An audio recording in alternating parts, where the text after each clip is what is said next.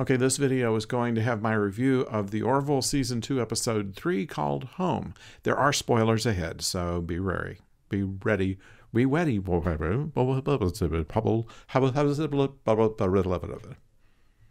And that's the truth.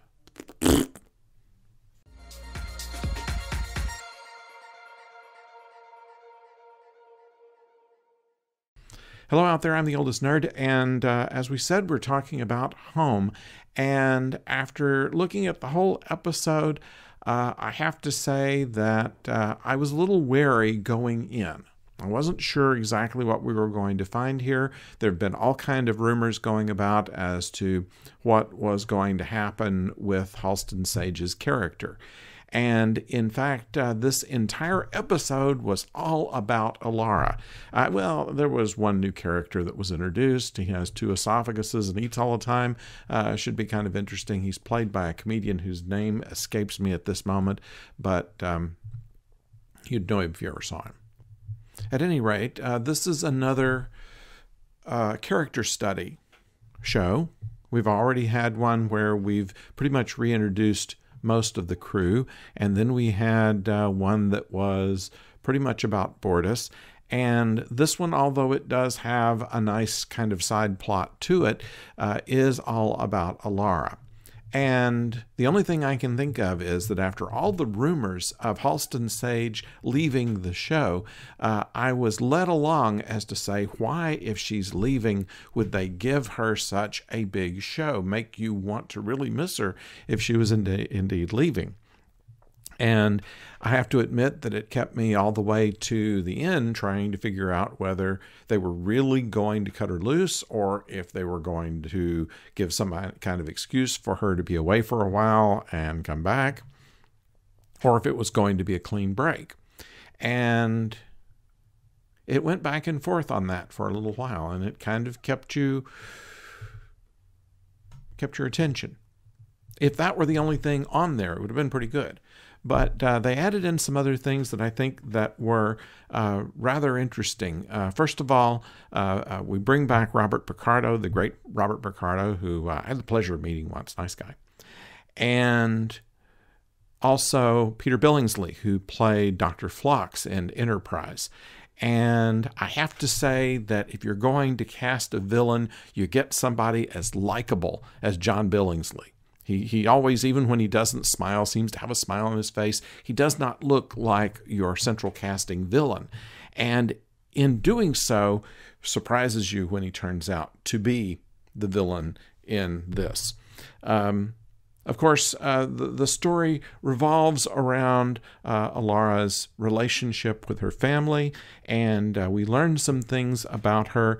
Uh, first of all, that uh, her reasons for joining the uh, the Union fleet was because she was considered to have a learning disability on Xelaya, and so by leaving and joining the military, she was able to gain the respect of her colleagues and have the family that she feels like she never had uh, on the Orville. So um, there was that dynamic in there. And I have to say that the way that it ended, that almost twisted it, they say, oh, no, no, she's not going to stay. She's going to come back to the ship. They found a miraculous way to cure her disease. And yet she goes anyway. It, it was, but it was, it was very touching uh, at the end. And, and I have to say that the last scene where the captain opens his gift is priceless. Um, without a doubt, I think this is the best Orville episode ever. And they're going to have to work hard to come up with one as good as this.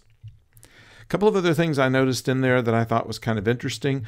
Um, uh, in a routine meeting, Kelly comes in and asks Ed uh, about um, Yaphet, who has uh, been making inquiries about the parental leave policy.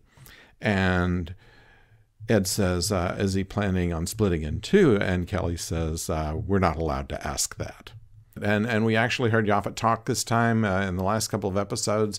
Uh, he's been in the deep background, so we know that we have not lost his. Um, his voice with Norm Macdonald uh, uh, totally. Just uh, they didn't have something to do with him, I suppose, in uh, previous episodes. Only one problem that I had with this is uh, similar to the problem that I had last week with uh, when they had to go and rescue the people on the dying planet. Uh, they could only put 35 people on a shuttle, and yet they have two people flying the shuttle. Could they not have modified two shuttles and had Bortus flying one and um, and Isaac flying the other one? Does it take two people to fly one of those? Uh, I, I don't know, but we always see it seems to always be two people flying those things at once, and so maybe that's necessary. I don't know, but uh, I find that kind of interesting. Uh, it, it, seemed a little too convenient that we had to sacrifice people last week just because uh, we had both people flying one shuttle. Uh, couldn't they get another one fixed? Also, something that bothered me was that if uh, if the inhabitants of that planet last week could wear radiation suits and walk through the radiation to get on the shuttle, why couldn't members of the Orville crew wear radiation suits and walk on the planet? Why do they have to have Bortus and Isaac except to satisfy the plot? I say that because it's a similar problem this week in that um, Ed goes out in his anti gravity suit and then uh, he gets in trouble and um, he can't be rescued because they only had one of them. Now, if they had one of them, does that mean they only have one? I mean, is, is he the only one that's able to, that's uh, allowed to walk on Xelaya? I mean, Gordon uh, didn't have one fixed for him, so in case there was some kind of problem that he could get out, um, I find that interesting a little hard to believe. That that's the only thing that I have with it. Otherwise, I thought that it was uh, a, a, very well crafted, a very touching. It had a good B plot. John Billingsley, of course, was brilliant. Um, uh, Robert Picardo was great. Uh, I liked the the sister and uh, all of the uh, all of the other elements. I thought were. Uh, were good. There wasn't anything that was conveniently jumped to. Uh, it was well written, well acted, and uh, a big thumbs up on this episode of The Orville. But I want to know what you think about it. Uh, please do get back to me and uh, leave something in the comment section. And uh, of course, uh, a like would be one would be welcomed, and uh, a subscription, if you will. If you've not subscribed to the channel, please do subscribe. Uh, we appreciate all of the all of you who have subscribed to this channel so far. So, uh, next time will be the premiere of Star Trek Discovery, and that's going to be a whole new jar of pickles, if you will, that uh, we want to go through. So, uh, that's coming soon, and until then, don't go far.